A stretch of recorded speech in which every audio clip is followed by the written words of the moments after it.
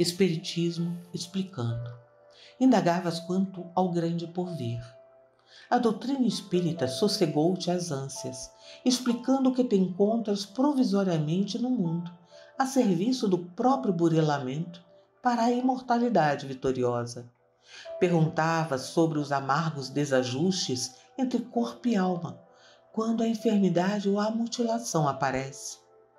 A doutrina espírita acerenou-te a aflitiva contenda íntima, explicando que a individualidade eterna se utiliza temporariamente de um corpo imperfeito, como alguém que se vale de instrumento determinado para determinada tarefa, de corrigenda a si mesmo. Inquirias com respeito à finalidade dos problemas domésticos. A doutrina espírita harmonizou-te o pensamento, explicando que o lar é instituto de regeneração e de amor, onde retomas a convivência dos amigos e desafetos das existências passadas para a construção do futuro melhor. Interrogavas em torno dos entes amados além do túmulo.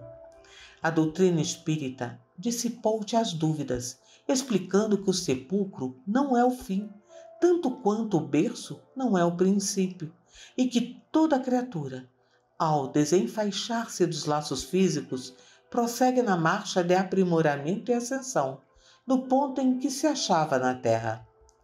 Interpelavas o campo religioso acerca da justiça divina. A doutrina espírita suprimiu-te a inquietação, explicando que Deus não concede privilégios e que, em qualquer instância do universo, alma recebe inelutavelmente da vida o bem ou o mal, que dá de si própria. Torturavas a mente qual se devesses respirar em cárcere de mistério, toda vez que cogitavas das questões transcendentes da fé. A doutrina espírita acalmou-te, explicando que ninguém pode violentar os outros em matéria de crença, acentuando, porém, que toda fé, para nutrir-se de luz, deve ser raciocinada em bases de lógica, porquanto, diante das leis divinas, Cada consciência é responsável pelos próprios destinos.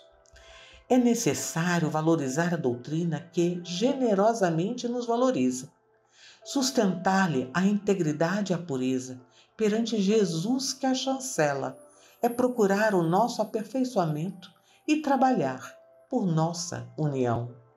Emmanuel, por Francisco Cândido Xavier, Justiça Divina.